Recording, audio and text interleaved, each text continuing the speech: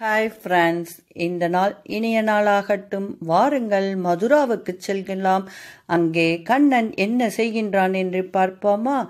யானையை கொன்றுவிட்டே யுத்த களத்திற்கு செல்லும் பொழுது அங்கே சாணூரனையும் முஷ்டிகனையும் கொல்லப்படுகிறார்கள். கண்ணனால் அடுத்தது இவற்றை கேட்ட கம்சனுக்கு கோபம் வந்து விடுகிறது கம்சனையும் கண்ணன் கொன்றுவிட்டு தன் தாத்தாவிற்கு பட்டத்தை சூட்டுகிறான். பின்னர் தன் தாய் தந்தையரை சிறுவயதிலிருந்தே பார்த்ததில்லையா இருபேரும்? சென்று தன் தாய் தந்தையரிடம் செல்கிறார். அப்பொழுது தேவகியும் வசுதேவரும் ஆனந்த கண்ணீர் விடுகிறார்கள். இவற்றை பற்றி பார்ப்போமா? ஆனூரன் மற்றும் முஷ்டிகனின் வதம். குவாலையை பீட யானையை கொன்று வெற்றி நடையுடன் கிருஷ்ணரும் பலராமரும் மல்யுத்த மணி மண்டபத்தில் நுழைந்தனர்.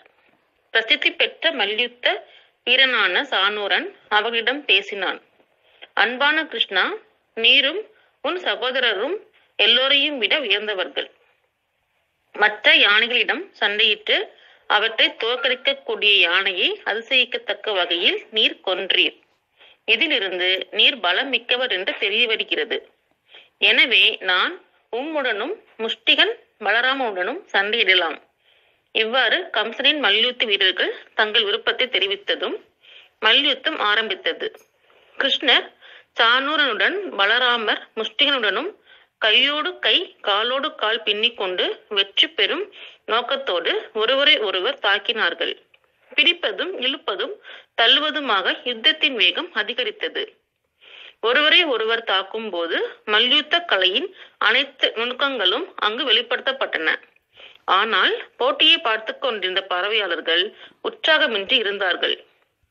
ஏனெனில் மலை போன்ற உருவமுடைய சானூரனும் முஷ்டிகனும் சிறு சிறுவர்களான கிருஷ்ணரையும் பலராமரையும் தாக்குவது நியாயமில்லை என்று அவர்கள் கருதினார்கள்.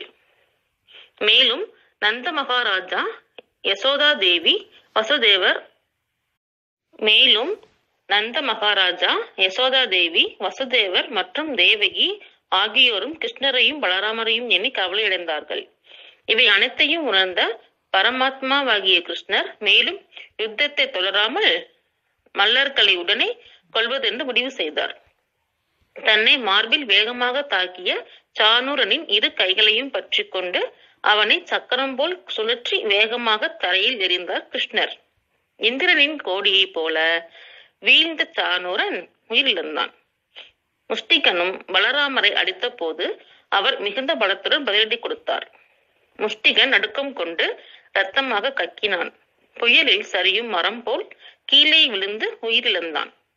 சானூரனும் முஷ்டிகனும் இறந்த பின்னர் சாலன் மற்றும் தோச்சாலா என்ற இரு மலர் மல்லர்கள் கிருஷ்ணருடையனும் பலராமருடனும் யுத்தம் செய்ய முன்வந்தனர். அவர்கள் இருவரையும் கிருஷ்ணர் மற்றும் பலராமர் கொன்றனர்.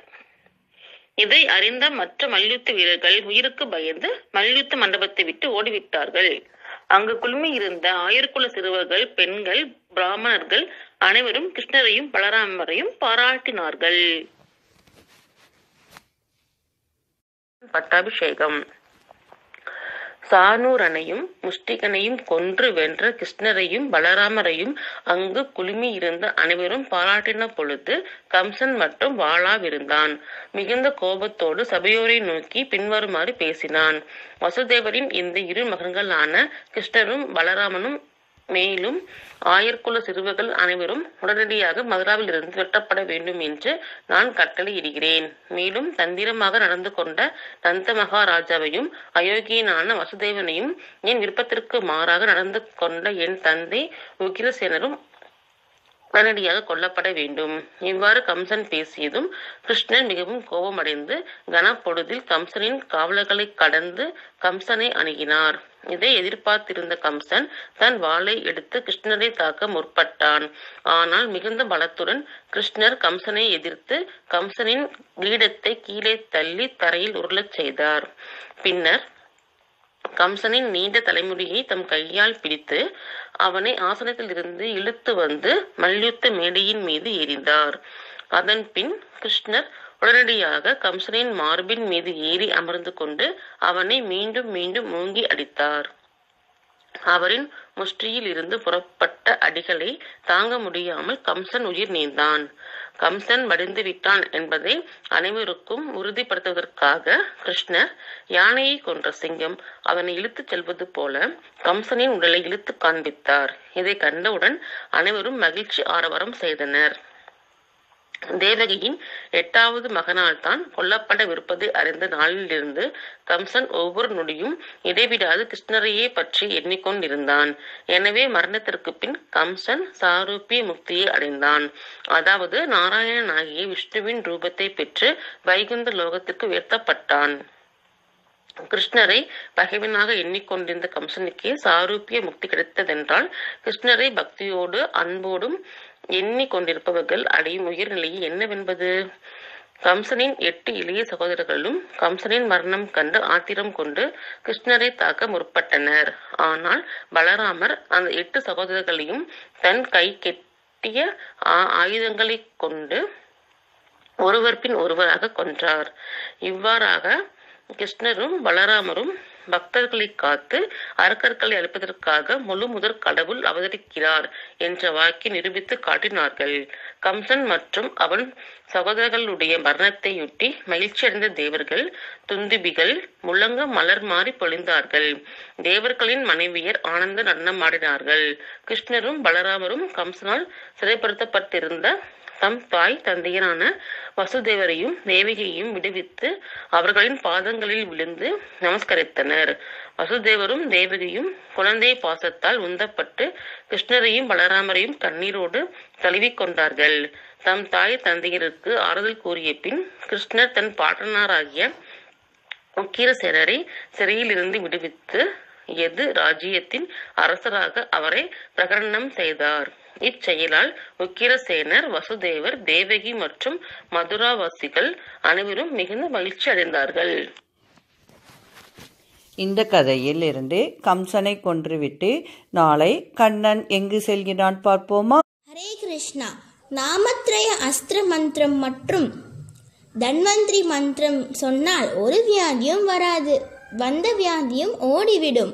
அச்சுதானந்த கோவிந்த नामोच्चारणवेषजात् नश्यन्ति सकलारोगाः। सत्यं सत्यं वदाम्यहम्। अच्युतानन्द गोविन्द विष्णो नारायणामृत रोगान् मे नाशय शेषान् हरे।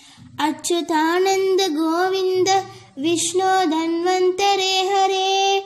वासुदेवाखिलानस्याः रोगान् नाशय नाशय अच्युतानन्द गोविन्द सच्चिदानन्द शाश्वत मच्चेतो रमथां नित्यं त्वच्चारु शरणाम्बुजे।